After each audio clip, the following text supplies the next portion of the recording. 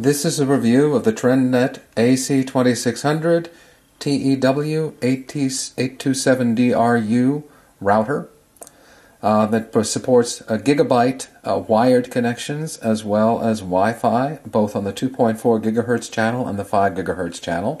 The router comes with the basic router model, um, quick installation guide, a DVD which basically has the user's guide plus the quick installation guide again, power cord, and a network cable.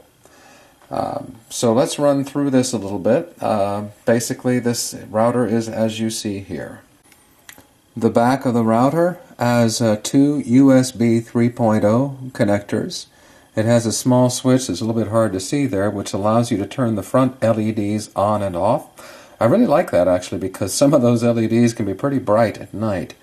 It has the WPS switch there, which allows you to push and instantly connect to another device that is listening at that time, making it a lot easier to connect than having to type in, say, a very complex password. That's particularly useful for one uh, a, a device that doesn't have a built-in keyboard, for example. It has the network cable in, the 4 gigabit network cables out, it's got uh, Wi Fi on and off, so if you just want to use it as a wired router, you can turn the Wi Fi off. Reset button and uh, power, basically, and then the uh, input power module. Um, let's talk about the speeds now.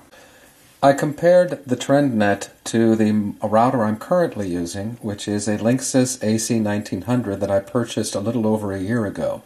The Linksys has been reliable and I've uh, uh, had no problem using it, so I ran a series of tests. The devices I've used, I've got two computers with wired connections to the router.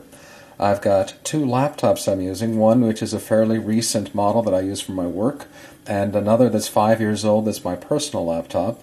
The latter only supports the 2.4 gigahertz, gigahertz band, so that's an interesting test to look at the speed there. I also was able to test with a device that uh, plugs into my television. It's the MXQ Pro uh, TV uh, device that competes with something like the Fire TV or the Apple TV. I've also tested it with the Galaxy Tab Pro tablet and my Kindle 8.9 inch tablet from a couple of years ago. So the speeds I got for the wired connections were, as expected, identical, uh, within the limits of just normal variations on speeds. They're both gigabit connections, and both wired computers displayed within just a, a, a few gigabit, a few uh, bytes of each other. The the more recent laptop in the 5 gigahertz band displayed roughly the same amount of speed as well, and in both cases, uh, both the Linksys and the TrendNet was basically maxing out the connector, so I had no problem there. The uh, interesting place was when we started looking at the 2.4 gigahertz band in each of these cases, because most of these devices could connect to either the 5 gigahertz band or the 2.4. And where I found the real differences was in the 2.4 band. At the 5 gigahertz band, both the Linksys and the TrendNet were had comparable performance. In the 2.4 gigahertz band, usually the TrendNet won pretty easily, but there was one notable exception. So the Galaxy Tab Pro had significantly greater performance on the 2.4 gigahertz band uh, 47.7 uh, megabits per second versus 35. The Kindle also showed some pretty significant uh, increases, going from 57 up to 82 with the TrendNet. So TrendNet's winning this one hands down so far. MXQ Pro television uh, device is same. It went from 34 to 43. The one exception, interestingly enough, was the Lenovo laptop. Now, that is the only one of these devices that is using five year old technology. And in this case, the uh, Linksys router really blew away the TrendNet. Uh, so I saw a pretty significant drop off in performance for the TrendNet versus the Linksys. A difference of uh, something like 78 going down to 46. That's still an acceptable speed, and in this case, I think the real problem was the Lenovo laptop itself, which is, as I said, five years old. For anything more recent, on the 5 gigahertz band, I would expect this to compete with anything in the market. And the 2.4 gigahertz band, I would, it's basically beating um, my Linksys and doing a pretty handy job of it.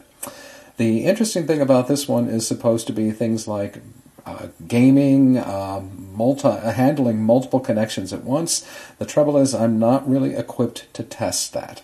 All I can tell you is that I was using this for a media server. Um, I was using my tablet. I had my television playing across the network, and this thing had no problem handling all of these, and I did not see a problem at all in the couple of weeks that I tested this.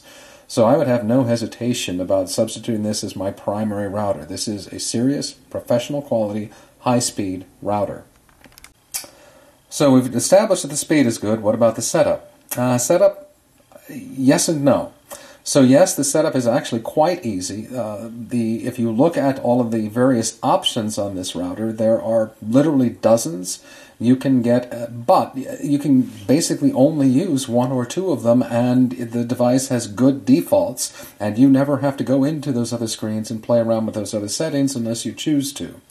Where it fell down a little bit was when you plug all this in and you put the DVD in, it is a wizard pops up in your browser that is supposed to be basically just a three step wizard and you're done. Trouble is, the first step of the wizard kept popping up multiple times. I would enter something and then another instance of the first page of the wizard would pop up. It took me four or five tries before I was finally able to complete the, the, the three page wizard.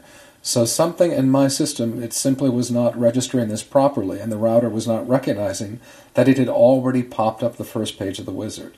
This was a minor nuisance, not a major one, and basically a little bit of patience, and I was able to get past the problem. I had no problem getting it set up though, and getting it every device recognizing it automatically. Uh, it was easy to make all these connections. There was really nothing complex that I had to do.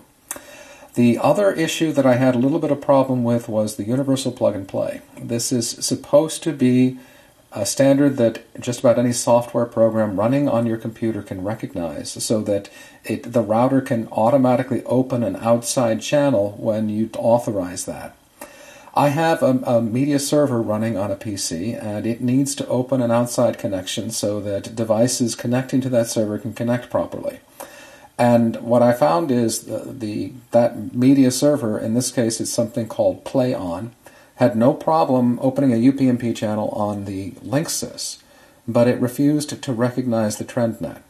This was not an insurmountable obstacle. I simply had to manually open a port and tell PlayOn which port I was opening, and after that, everything worked properly. But this is one case where you might have some problems, and UPnP is not completely universal.